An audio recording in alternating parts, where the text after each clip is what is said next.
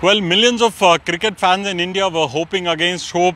India finally uh, defeated by England in the first Test match on the last day. Uh, many were hoping uh, that perhaps the Indian batsmen uh, will repeat uh, a performance that they you know enacted in Australia down under when they won the last Test match. But here it didn't really work. The top batsman failing uh, to score runs, except barring uh, Virat Kohli and uh, Shubman Gill. I'm joined by uh, sports editor uh, Rohit Mahajan. Rohit, yesterday you said that if I were to put money, it, uh, it would be on England. So uh, that's turned true. I mean, uh, completely collapsing. Yeah, uh, nothing great in, in my uh, looking into the future yesterday. Right. That's that's how it pans out on the fifth day. Uh, in, in the subcontinent, there are exceptions, but there are very few exceptions. Like we saw a couple of days ago in Chittagam, Right. uh, where West Indies chased, chased down a huge fourth innings total. So, but yeah, that's how it is. If, if you lose the first innings, uh, it turned out to be a, a shootout in the first innings. Right. England won that shootout. India had to bat last. Right. There was no realistic possibility of chasing 420 runs um, on, on this track. The only the only hope we had of was saving this test match. That was by batting three sessions. That's very difficult to do on, on a fifth day wicket, and um, uh, you have to you have to give uh, credit to England. Um, they capitalized when they had the best of batting conditions on the first couple of days, and on day five, um, um, James Anderson he priced out a couple of very good good wickets with good deliveries. Right. Uh, so all credit to them, and this is how it works out. If you lose the toss on a wicket like this, when the batting is very easy on the first couple of days, and then you also lose the batting contest of the first innings, I mean, there's no way out.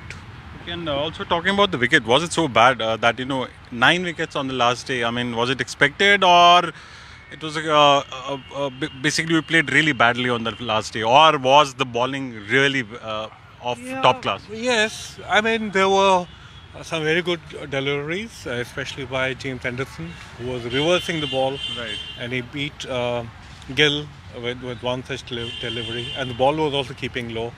And Leach, uh, I mean, for a spinner, it's not very difficult on, on this kind of a wicket. You, uh, he was making the batsman play by bowling into them, Right. into the middle stump from around the wicket for a, for a left armer, ball angled in into the stumps. The batsman has to play, Right. and if the ball either keeps low or jumps up, then you interrupt. in trouble. So this is how it, it does happen. Uh, it was very difficult for uh, India to survive on this uh, track on day five. Uh, if uh, um, if uh, Pujara had survived, then there would have been some possibility of India tr- getting into the third session and trying to save the match. But uh, he has he has the best batting defensive technique in the Indian lineup, and if he fails on such a day, then there's little hope.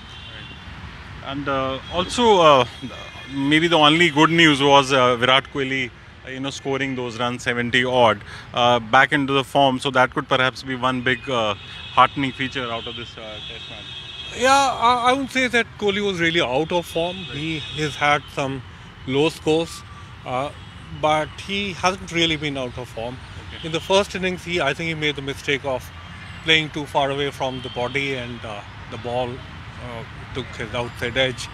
But uh, yeah, uh, on a fifth day track, um, I, I would have been very surprised if India had uh, scored over 250 or lasted uh, beyond the in, deep into the day. That would have been actually a surprise. Uh, some Australian cricketers, I think Shane Warne uh, yesterday when uh, the, the England uh, delayed putting India back into the fourth innings. I mean, there were a lot of questions over whether he should have delayed, but now it turns out, you know, it was the right decision at the right time. Yeah, you know what? Uh, England may have been a little fearful about what happened in the previous two Test matches. India batted through Right. the fifth day in Sydney and managed to get to earn an incredible draw. Then they managed to bat through the whole day in Brisbane and got an again incredible victory. So they were probably spooked by all those uh, dis, uh, all those results and the way the Indian batting uh, batsmen played, and they played so deep, right up to Washington Sundar, uh, some, some exceptional batting right up to that level. But then you have to figure out that uh, those wickets are very different. Sydney is, is a very different wicket from Right. Chennai as is Brisbane. And batting there on the fifth day may not be as difficult as it is here. Right. Because here the, the surface is dry and the bounce becomes much more uneven. Right. And, and so the effort uh, has to be much more greater here. And so Root did the right thing, uh, I guess, by trying to make sure that India. He, he was making, trying to do two things by batting deeper Right. into the day yesterday. He was trying to take more time uh, to, to give India less time and get some more runs, Right. but also to, to let the wicket deteriorate Right. by batting more on Right. that wicket. So I, I think it worked perfectly for him. And also, uh, looking back, Rohit, uh, will questions be now raised over the team selection? There will be a lot of debate on why Nadeem was chosen ahead of Kuldeep Yadav. Uh, perhaps also, uh, you know, they could have brought in some special uh, specialist spinner. Uh, questions being raised over the team Yeah, selection. yeah. You know what? The absence of uh, Jadeja was very crucial. That's right. And Kohli wanted a left-arm spinner, obviously, because uh, um, Sri Lanka's left-arm spinner, uh, he's got a complicated name. So he took 15 wickets against uh, uh, England in the recent series. Right. So that would have suggested to Kohli that there's some weakness uh, in the English batting lineup against left-arm spin. Right. So that's the, that's the reason they wanted to give uh, Akshar Patel uh, his debut here. Um, but the, obviously, questions will be asked, and questions also will be asked about the temperament of some of our batsmen. Rahane, uh, he was in such good form Mm, uh, that's in right. Australia. Uh, he um, uh, in, in the uh, when- he got a century in the second test. Mm. After that, there has been a sort of uh, loss of form. He got a few runs in the second innings in Brisbane as well. But now he seems, uh, I mean, he, he has a very different kind of appearance. He doesn't seem very confident.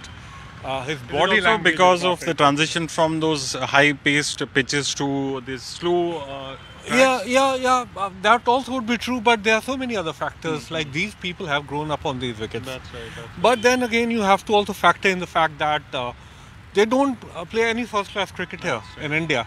So they haven't played any uh, uh, on a day four wicket in domestic cricket, maybe apart from Pujara. Um, so they don't play Ranji Trophy, for instance. I mean, there's a very famous uh, uh, statistic that when Tendulkar and Kumble, they never faced each other in domestic cricket in in, uh, in the longer format. So, uh, so are our players getting used to day five wickets or day four wickets in Ranji Trophy? Are they getting the best uh, possible practice in our own conditions? I mean, that also has to be asked about apart from team selection. Right. So, uh, would you expect uh, the second Test match a lot of changes, or you know, minor tinkering of uh, the uh, bowling lineup, or do you, do you expect major changes? I don't expect major, major changes. Uh, um, though Kohli really play, plays the same team twice consecutively, he has actually a record of playing different 11s Right. for, I don't know, a very large number of test matches. So after every test match, either there's a force change due to injury or some other factor, or he has dropped some player.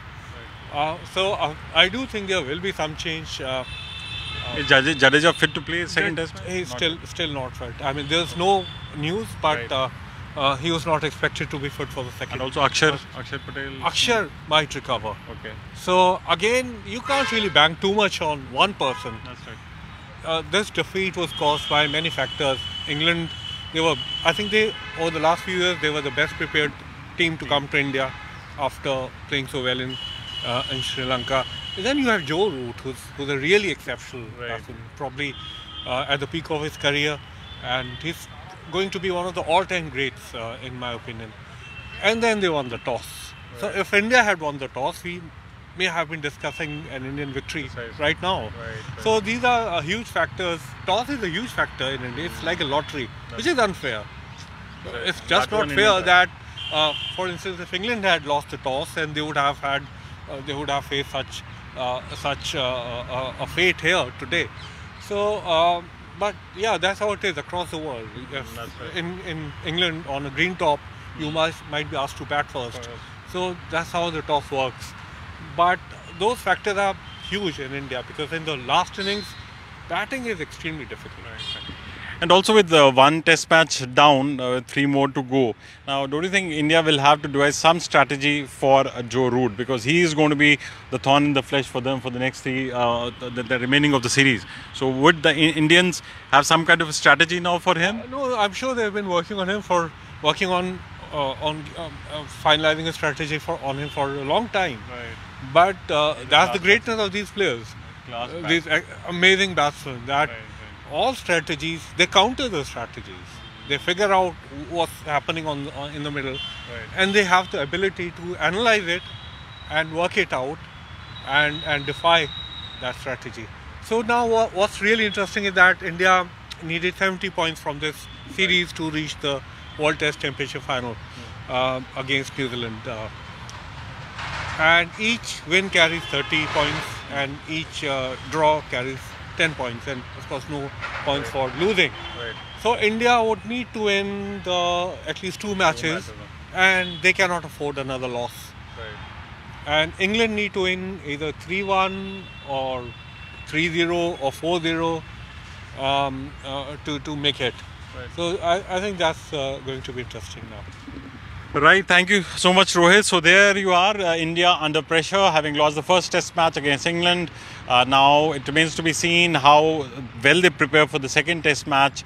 Uh, in the first, they were completely outplayed uh, in every department, the bowling and uh, batting, and that's why we have a scoreline of 1-0, England up, and now India uh, need to really pull their socks and come back, make a comeback in this series. We'll provide you all the updates uh, uh, right through the second test match, uh, which be- begins uh, in a week's time. We'll also uh, provide you updates through our social media platforms like Twitter, Facebook, and Instagram. Meanwhile, thanks for watching.